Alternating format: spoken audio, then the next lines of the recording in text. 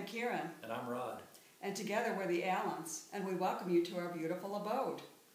We spent the last three years uh, taking this dream and making a reality out of it. We've had a great team of people, starting with Maury Hurt as the architect and Tally Roberts as the interior designer, and then with Sean and Mike and Living Stone Construction as our builder. We couldn't have had a more uh, perfect uh, result Dream to what we team. had. The dream team, that's a good word for it.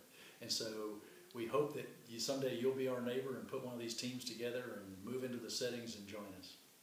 So welcome, make yourselves comfortable, take in the beautiful views, and have a very good evening.